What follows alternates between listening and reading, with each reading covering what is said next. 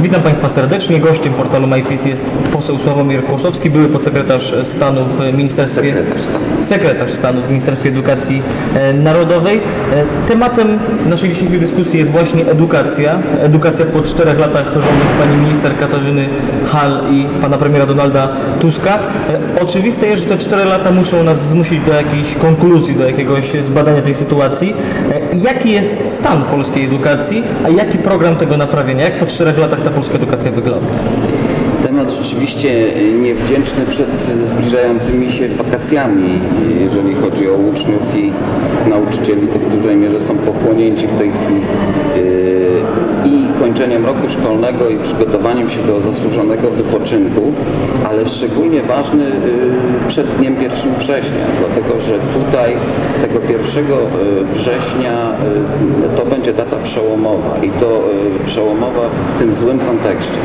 Pan redaktor pytał o kwestie dotyczące programu, o, o, tego, o to, co zrobiono w zakresie edukacji przez te minione 4 lata mm, i jak z tego programu, programów jakby wybrnąć w sposób pozytywny.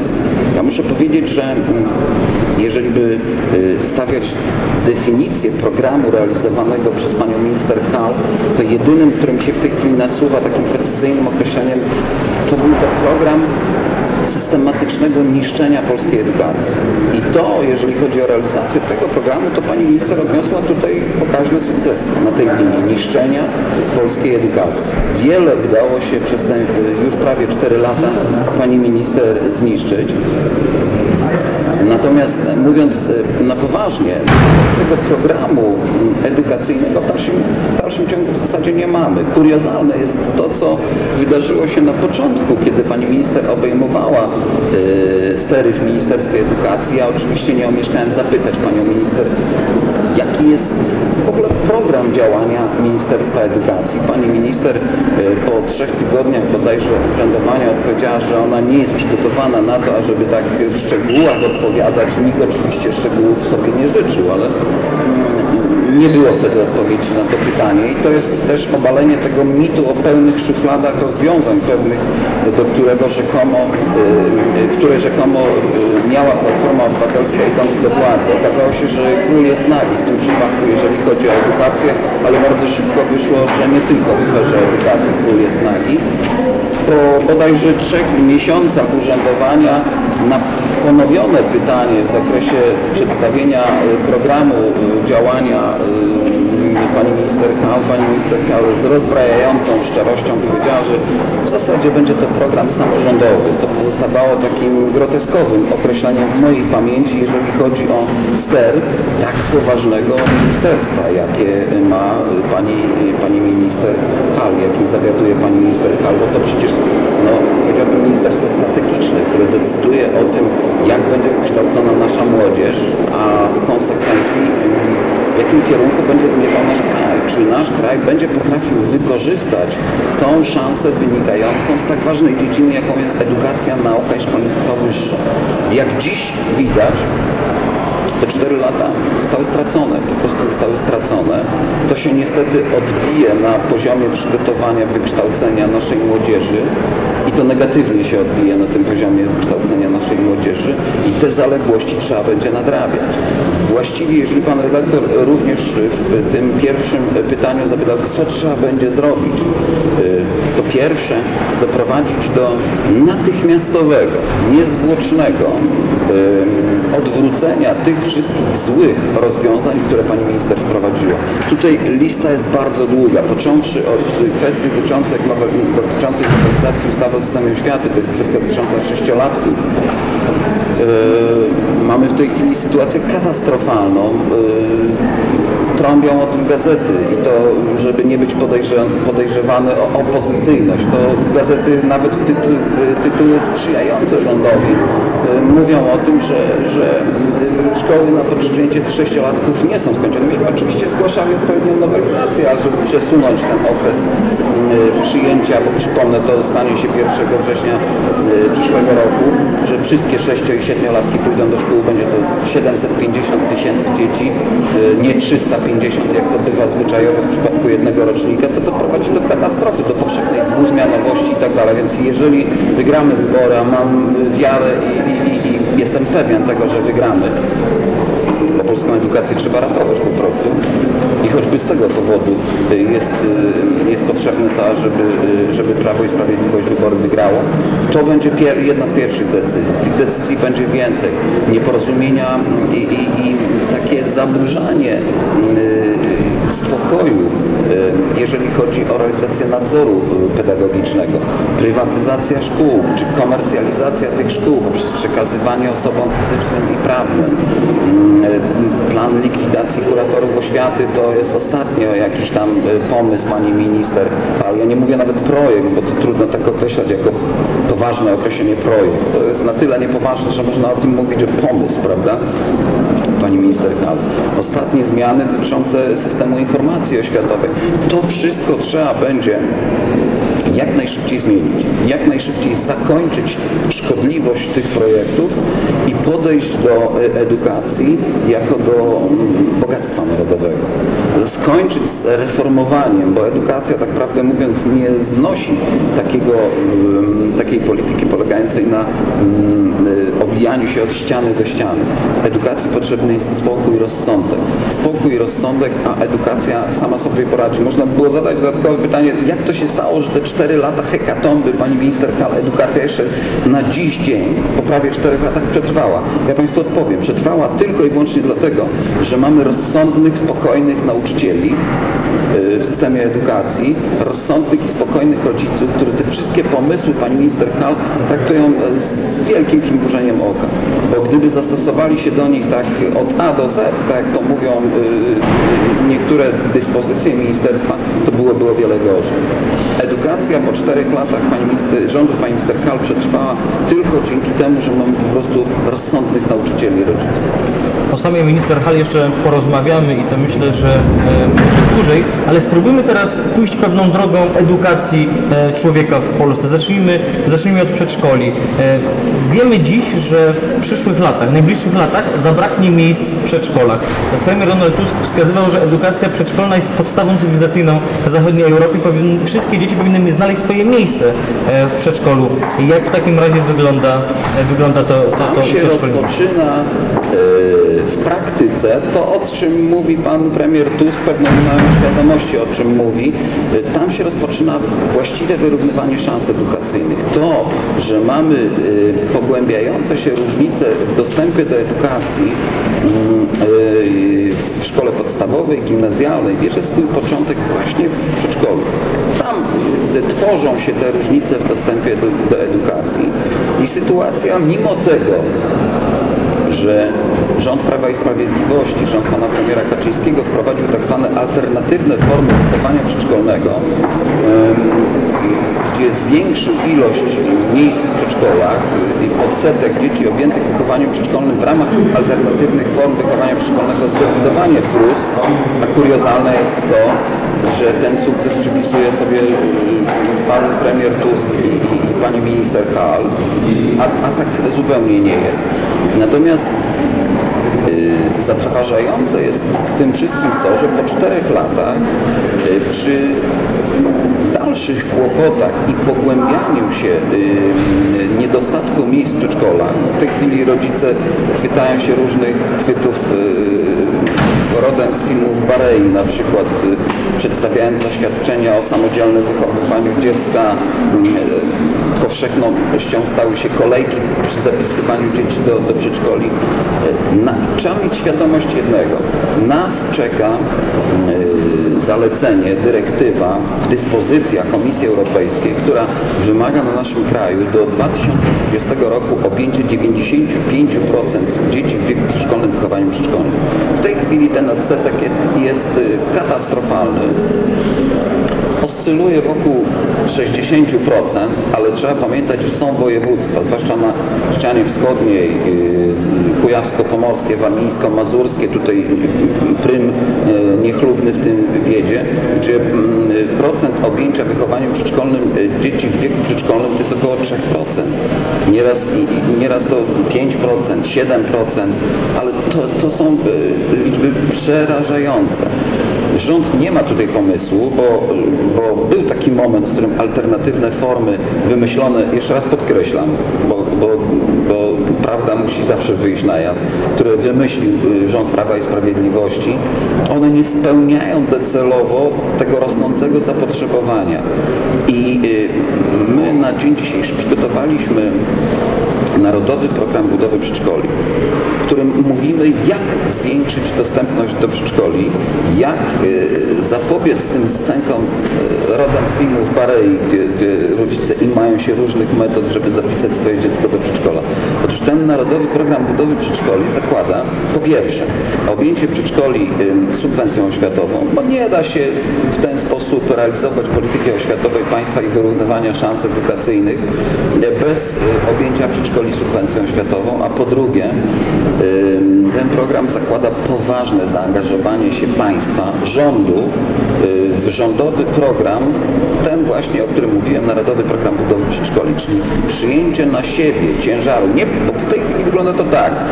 W wielu gminach, zwłaszcza gminach wiejskich, po masowych likwidacjach przedszkoli, które miały miejsce na początku lat 90., w tej chwili fizycznie budynku przedszkola nie ma. W związku z tym trzeba budować od zera przedszkole. Y, Rząd y, zostawia samorządy same sobie z tym problemem. One sobie nie poradzą, tym bardziej, że obecnie samorządy terytorialne w Polsce są zadłużone na ogromne pieniądze. W związku z tym mm, takie udawanie, że problemu nie ma, do niczego nie doprowadzi. To jest tak jakby no, stłuczenie termom, termometru po to, żeby nie y, y, odczytać na nim temperatury. Te- W tej chwili potrzebny jest ten program, zaangażowanie środków rządowych, zaangażowanie środków z Krajowej Rezerwy Wykonania, to są środki europejskie, nie wydawanie ich tak jak teraz bardzo często się odbywa na oślep, byleby tylko wydać, byleby tylko osiągnąć współczynnik wysokiej, y, wy- wysokiego wydatkowania tych środków, tylko zaangażowanie tych środków z Krajowej Rezerwy Wykonania, z budżetu państwa, wzbogacenie tych środków o środki z samorządów terytorialnych. W ramach takiego Narodowego Programu Budowy Przedszkoli jesteśmy w stanie w ciągu pięciu lat, myślę, doprowadzić do takiej sytuacji, w której te sceny, gorszące sceny ym, y, kolejek do przedszkoli, y, różnych pomysłów takich praktycznych rodziców skończymy. Pan mówi o tworzeniu nowych e, miejsc edukacyjnych, nowych przedszkoli, e, ale ten rząd działa jakby odwrotnie. W co roku likwidowanych jest około 600 placówek oświatowych. Chodzi mi o szkoły prowadzone przez samorządy i tak naprawdę to odpowiedzialność za ich, za ich e, zamykanie ciąży potem na, e, na samorządach. E, Z innej strony rząd koniecznie chce przekazać odpowiedzialność za edukację albo samorządom, albo jednostkom pozasamorządowym, które, które mogłyby te szkoły prowadzić. Czy to nie jest moment pozbywania się jakiejkolwiek odpowiedzialności za polską edukację przez, przez polski rząd? Naturalnie, że jest. I my o tym mówiliśmy, mówimy i będziemy mówić, pomimo tego, że y, niejednokrotnie y, albo ze złością, albo z agresją y, przedstawiciele strony rządowej tłumaczą, że to nie jest tak, że to samorządy likwidują. Otóż nie, proszę Państwa. Samorządy to jest tylko koniec y, tego procesu likwidacyjnego, bo samorządy nie mając środków finansowych zabezpieczonych w odpowiedniej wysokości w subwencji oświatowej, no, niejednokrotnie są zmuszane do tego, ażeby likwidować. Ja tego nie pochwalam. Zresztą y, Komitet Polityczny Prawa i Sprawiedliwości bardzo dobrze, że przyjął y, uchwałę niejako zobowiązującą wszystkich samorządowców Prawa i Sprawiedliwości do tego, żeby głosowali przeciwko likwidacjom szkół. Dlatego, że to nie jest metoda. Ja przed chwilą mówiłem o tym, że mieliśmy masowy proces likwidacji przedszkoli w początku lat 90. I teraz z analogiczną sytuacją spotkamy się za kilka lat, a ja mam podejrzenie, że nawet już w przyszłym roku, jeżeli chodzi o szkoły, bo zlikwidować zawsze jest łatwo, trudniej jest zbudować. Tę tą bazę przedszkolną, którą zlikwidowano do dzisiaj, w początku lat 90. do dzisiaj nie potrafimy jej odtworzyć. Jeżeli y, likwidacji uległo w tej chwili w kraju około 1000 szkół, bo takie są dane, to nie jest 600, to było w zeszłym roku 600, dwa lata temu 600, w tym roku z powodu tego, że ustawa o systemie oświaty odebrała kuratorowi, ta nowelizacja z, 1900, z 2009 roku odebrała kuratorowi możliwość wetowania likwidacji szkół, czyli sprzeciwu wobec likwidacji szkół, nastąpiła ta, ta lawina, ta rzeź niewiniątek, jeżeli chodzi o szkoły i ich, skala ich likwidacji jest zdecydowanie większa. Tylko zlikwidować zawsze jest łatwo.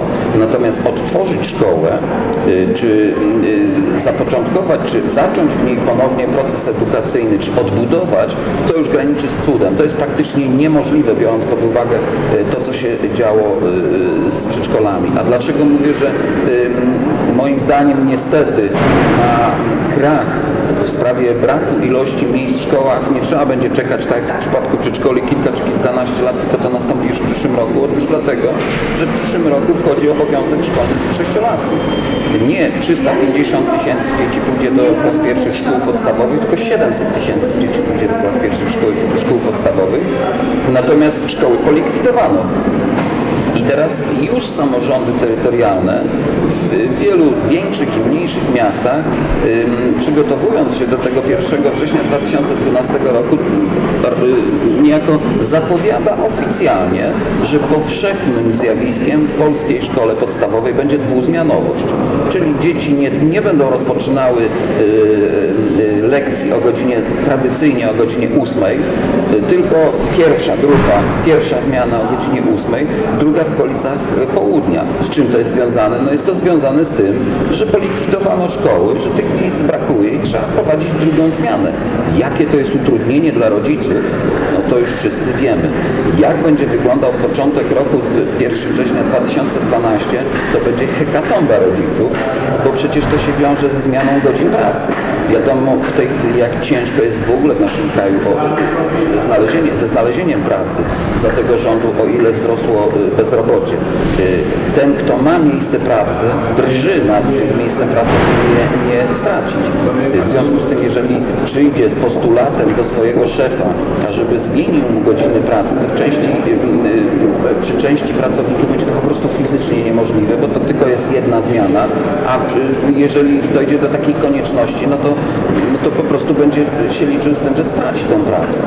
Nie wyobrażam sobie innej sytuacji niż ta, w której rodzic jednak mimo wszystko wysyła swoje dziecko do, do szkoły o tej godzinie 11, bo to jest i ze względów bezpieczeństwa, i ze względów takiej higieny umysłowej i, i, i tego dziecka przed stresem, bo to jest jednak dla dziecka stres. No, w sposób naturalny też odbiera dziecko ze szkoły. To będzie bardzo często porą zimową już pora wieczorna. W związku z tym proszę zwrócić uwagę na ten element. Likwidacja szkół stała się faktem. Niestety stała się faktem. Mm, Myśmy oczywiście złożyli nowelizację ustawy przywracającą weto kuratora do likwidacji szkół. Oczywiście jak wiele naszych projektów, między innymi to przesunięcie y, wieku obowiązku szkolnego, wszystko spoczywa gdzieś tam w zamrażarce marszałkowskiej. Natomiast w tym przypadku y, rok przyszły będzie rokiem takiego takiej wielkiej próby, takiego wielkiego doświadczenia. Właściwie w roli y, tych, na których to doświadczenie się odbywa, wystąpią tutaj niestety y, Bogu ducha winne dzieciaki. Bogu ducha winne dzieciaki, bo one nie zawiniły temu, że ministerstwo nie dało pieniędzy na w subwencji na to, żeby dostosować obiekty szkolne do potrzeb sześciolatków. Y, nie, nie zabezpieczyli innych wymogów, które powinny, powinno zabezpieczyć ministerstwo. Takim groteskowym przykładem kompletnego nieprzygotowania, dyletanctwa ministerstwa i spychania odpowiedzialności za edukację w tej sferze.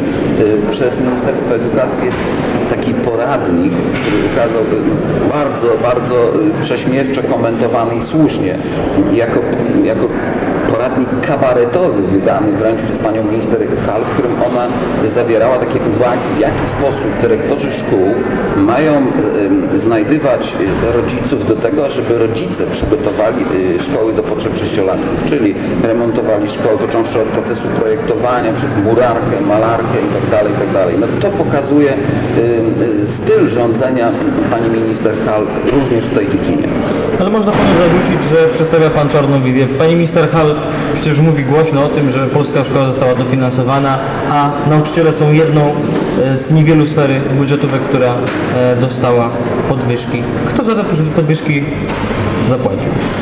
Proszę Państwa, to mm, nie jest czarna y, wizja, którą ja prezentuję. To jest wizja, która jest wizją z poziomu szkoły.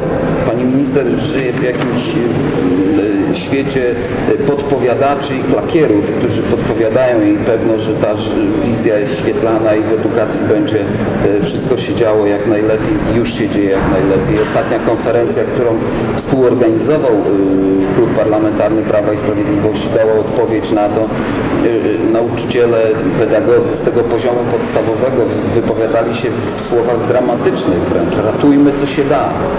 Ratujmy co się da. Jeżeli pani minister twierdzi, y, y, że, że w szkole jest tak dobrze, to dlaczego Solidarność zebrała wśród nauczycieli ponad 150 tysięcy podpisów y, wnioskujących ulżenie temu stanowi i odwołanie pani minister Hall. Jeżeli te podwyżki rzekome, bo to są podwyżki, które są wirtualnymi podwyżkami, są prawdziwe, to czyżby nauczyciele e, fatygowali się, żeby swojego dobroczyńcę e, odwoływać i to e, zebrali 150 tysięcy podpisów e, dla odwołania. Teraz e, dwa zdania na temat tych wirtualnych podwyżek. No proszę Państwa, no, to jest majstersztyk jarowski. Już y, y, w zeszłym roku mieliśmy ten, y, tego przykłady, a w tym roku to już jest apogeum tego majstersztyku. Na 2011 rok pani minister Hall zakładała w budżecie podwyżki 7% dla nauczycieli. Pan premier Tusk zapowiadał przy debacie nad ustawą budżetową, że to będzie jedyna grupa w y, sferze budżetowej, która otrzyma podwyżki. Proszę Państwa, po pierwsze, nie 7% podwyżki, tylko y, właściwie obniżka wynagrodzenia, bo tak należy o tym mówić. Dlaczego mówię, że nie 7%, tylko obniżka? Otóż majstersztyk PR-owski tego polegał na tym, że podwyżki zawsze liczy się y, w, co do średniej rocznej. Natomiast tutaj mamy majstersztyk PR-owski polegający na tym, że tą podwyżkę liczy się od września 2011 roku, czyli w skali roku jest to zaledwie 4 miesiące. Jeżeli rozłożymy tą, te 7% y, rzekomej podwyżki na 12 miesięcy, to to jest niecałe 2%, czyli w okolicach 2% podwyżki średniorocznej, czyli tak, jak powinno to być traktowane.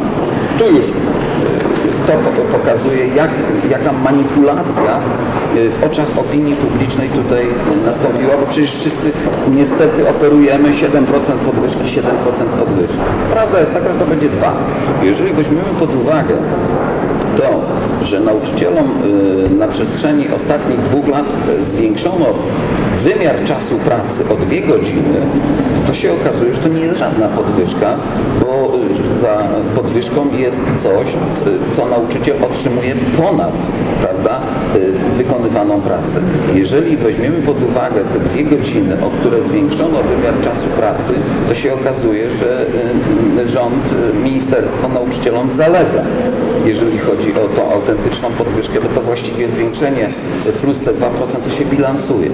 Ale proszę zwrócić uwagę na jeszcze jeden fakt, że ta podwyżka nie jest podwyżką realną, nawet w tej skali zbilansowanej, zerowej, tylko mm, pod, podwyżką wirtualną, nierealną. Dlaczego? Dlatego, że pan minister y, Rostowski w ustawie budżetowej zakładał, y, że średnioroczny poziom y, wzrostu cen towarów i usług to będzie około 3,5%. Y, W związku z tym już nauczyciele, widać po tym, są do tyłu na tej podwyżce realnie o 3,5%, czyli majstersztyk medialny, w którym nauczyciele na podwyżce Platformy Obywatelskiej po prostu tracą, a przy okazji dochodzi do bardzo nagannego, złego y, przykładu, w którym rząd, pan premier w tym przypadku osobiście, konfrontuje środowisko nauczycielskie, stawia je w konfrontacji z innymi środowiskami w sferze budżetowej, twierdząc, że tylko nauczyciele dostają y, w sposób naturalny y, stawia to nauczycieli w roli tych, którzy mają rzekomo jedyni z tego korzyści. Proszę sobie wyobrazić, jak się czują w stosunku do nauczycieli policjanci y, i inni y, uczestnicy tej historii budżetowej. Od, od razu zaczyna się, a nauczyciele mają y, wakacje, a mają przerwy świąteczne, a mają to, a tamto i jeszcze mają podwyżki, które tak naprawdę nie są po prostu podwyżkami. Po co to wszystko? Ja tego nie jestem w stanie y, niejako rozszyfrować, chociaż uproszczeniem czy pomocą w rozszyfrowaniu tego były ostatnie kwestie dotyczące mm, protestu pielęgniarek y, w Sejmie, gdzie na y, galerii sejmowej siedziały mm, pielęgniarki zatrudnione na umowie o pracę i po dwóch dniach mm, nagle w Sejmie pojawiły się ni stąd, ni zowąd pielęgniarki na kontraktach, które przyjechały niejako w konfrontacji do tych pielęgniarek zatrudnionych na umowę. To mi daje odpowiedź, w jaki sposób odbywa się tutaj y, takie, taka, taka y, polityka, y, myślę, że taka krótko, y, krótkowzroczna rządu, jeżeli chodzi o ferowanie pewnych grup zawodowych w konfrontacji do innych grup zawodowych. Rząd wiele naobiecywał e, oświacie. Ja przywołam tylko kilka takich, takich obietnic. Po pierwsze bon edukacyjny, e, po drugie informatyzacja szkół. Najpierw laptopy mieli dos- dostać gimnazjaliści, potem te laptopy mieli dostać pierwszaki. Można zakładać, że jeszcze przed październikiem będzie propozycja laptopa e, dla przedszkolaka. E, wiele Jeszcze innych żłobki propozycji, tak, jeszcze żłobki. jeszcze żłobki, ja, tak. się, ja się uśmiecham, jak słyszę te, te, te, te hasła, proszę Państwa. Ja powiem tak, dwa lata temu w ustawie budżetowej mieliśmy pierwsze podejście do tak zwanej laptopizacji y, szkół. Y, I, I cóż się okazało, że wydano w budżecie 16 milionów złotych na przygotowanie nauczycieli do y, tej laptopizacji, na, na wykształcenie ich y, w znajomości różnych programów internetowych, programów operacyjnych, jeżeli chodzi o posługiwanie się tymi komputerami. Natomiast w ramach cięć budżetowych zabrano pieniądze na te właśnie laptopy. W związku z tym okazało się w sposób jednoznaczny, że te 16 milionów zostało wyrzucone po prostu w błoto, bo jeżeli chodzi o szkolenia w tych programach komputerowych, to tam materiał tak szybko ulega przedawnieniu czy dezaktualizuje się, że to po prostu nie ma o czym mówić w ogóle w tej, tej sferze. E, No i, i, i co jakiś czas, ja to tak z regularnością wyborów, wyborów do Europarlamentu, wyborów do Sejmu, wyborów samorządowych, ja mm, jestem w stanie przewidzieć, kiedy rząd rzuci kolejną kiełbasę wyborczą w postaci laptopów dla tego, laptopów dla tamtego. Jest to komple- kompletna, powiedziałbym, porażka i y, y, zapowiedzi takie zupełnie wyabstrahowane z rzeczywistości. To oczywiście to jest chwytliwe medialnie, natomiast jeżeli weźmiemy pod uwagę jedną rzecz, której, e, której rząd unika jak ognia, czyli stan pracowni internetowych w szkołach, który jest w tej chwili tragiczny i opłakany i stan łączy internetowych, które posiadają te szkoły, to te mm, laptopy w tym przypadku będą tylko zbędnym dodatkowym bagażem dla tego ucznia, bo ten uczeń y, do, do, y, idąc do szkoły i korzystając z archaicznego łącza i, nie wiem, ekstra wolnego łącza, mówiąc y, w uproszczeniu, y, będzie, y, będzie tracił czas po prostu, jeżeli chodzi o ten laptop. Y, Nie mówiąc już o tym, że ja w ogóle traktuję tą, tą zapowiedź jako zapowiedź nierzeczywistą, tak samo jak realizacja programu Radosna Szkoła. Rados, przypomnę, to jest budowa placów zabaw przyszkolnych Yy, i, i, i ten rząd właśnie idzie w, taki w takim kierunku. Ro, ro, robi radosną szkołę, jakieś place zabaw i huśtawki w, w momencie, kiedy w polskich szkołach, jak stwierdza yy, badanie głównego inspektora sanitarnego, w 50% polskich szkół nie ma yy, na przykład ciepłej wody. A więc oni mają się bawić, byleby nie korzystali z ciepłej wody. Tak jak tutaj, w tym przypadku komputerów. Mają archaiczne pracownie komputerowe w swoich, szkołach, gdzie budzą bardziej uśmiech, gdyby, gdyby na to tak spojrzeć, a mówi się o laptopach, czyli o jakimś tam kroku, czy dziesięciu krokach do przodu. No, zróbmy najpierw to, czego w polskiej szkole potrzeba najbardziej. Może ciepła woda, może nowoczesne pracownie komputerowe. Tylko ja rozumiem, no, są wybory, trzeba mówić o laptopach, już nie mówiąc o jakichś tam kwotach kosmicznych, które były wymyślane jako kwoty zabezpieczające kupno tych laptopów. Fachowcy wyliczali, że żeby kupić taki laptop, to, to, to jest rzecz nierzeczywista, niemożliwa, fizycznie niemożliwa na rynku, żeby laptop kosztował 300 czy 500 zł. No chyba, że to będzie zabawka dla dzieci, to wówczas tak. Kondycja edukacji to też e, poziom tej edukacji. Ten rząd uparł się na to, żeby mierzyć tę kondycję w pewnym e, odcinku czasu. Możemy powiedzieć, że mamy do czynienia z pewną testomanią. Już nawet 3 lat, e, trzecioklasistów chce się badać e, testami. Ja mogę tylko prześmiewczo powiedzieć, że pewnie już niedługo czeka nas egzamin wstępny do, do szkoły podstawowej. Czy ta ekipa z tym pomysłem wchodzi w nurt ogólnoświatowy, ogólnoeuropejski, czy te testy wynikają z jakiegoś e, chorego systemu rywalizacji szkół, uczniów? Czy ja powiem w ten sposób, proszę Państwa, że się nie wie, co, się ro, co, co robić, bo się nie ma programu, tak jak stwierdziliśmy, programu działania ministerstwa, to się robi cokolwiek. To, to się wymyśla takie hasełka jak laptop, który jest chwytliwy, no bo każdy uczeń chciałby mieć laptop, natomiast no, realność tego pomysłu jest żadna. To, to mówi się o, o kwestii dotyczącej właśnie egzaminów, testów i tak. Natomiast to stało się od pewnego czasu plagą, bo żeby było jasne, ja nie mam nic przeciwko testom. I, I tylko w tym powinien obowiązywać wszystkich rozsądek, no zwykły rozsądek. Tym nie można przesadzić ani w jedną, ani w drugą stronę. A niestety ten rząd przesadza i to zdecydowanie przesadza, bo y, w tej chwili podstawa programowa kształcenia ogólnego i wymogi y, egzaminacyjne są ułożone, czy są napisane pod testy. To jest y, w uproszczeniu wielkim po prostu nauczanie pewnych odruchów, które będą na egzaminie potrzebne. Nie ma to nic wspólnego z tak zwaną wiedzą ogólną, z ym, umiejętnościami ogólnymi. To jest schematyzm, w którego wpycha się ucznia, począwszy od szkoły podstawowej, bo taki sprawdzian, przypomnę, jest już po szkole podstawowej, później jest test gimnazjalny i później jest y, matura.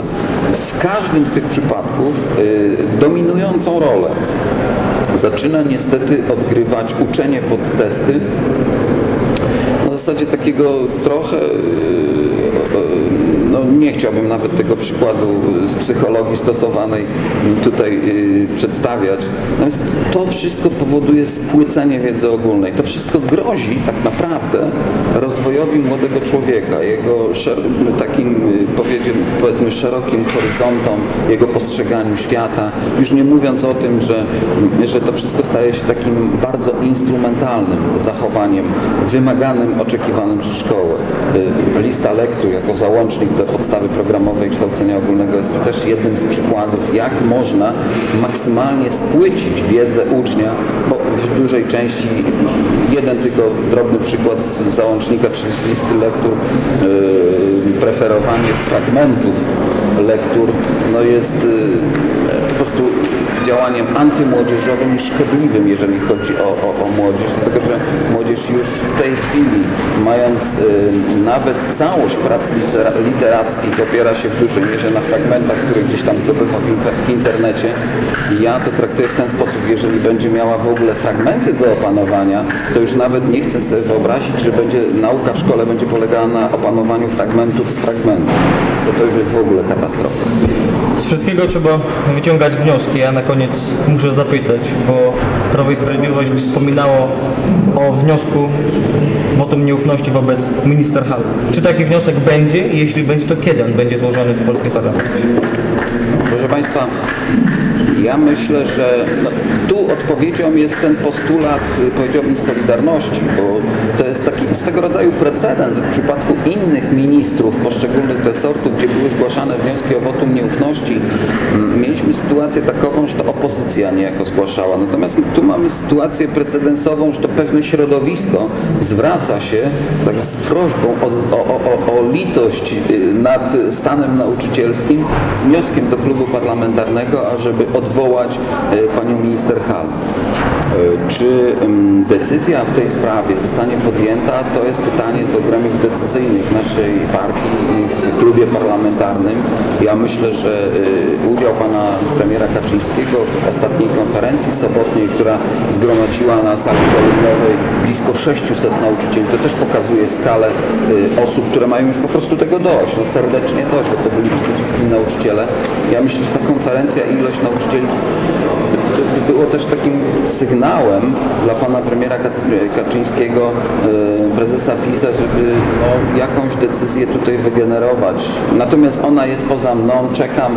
E, Myślę, że z uzasadnieniem e, tego wotum nieufności problemów nie będzie, bo życie pisze uzasadnienie, codzienność pisze uzasadnienie do tego wotum nieufności. Czyli jeżeli to by od Pana zależało, to Pan taki wniosek by zgłosił.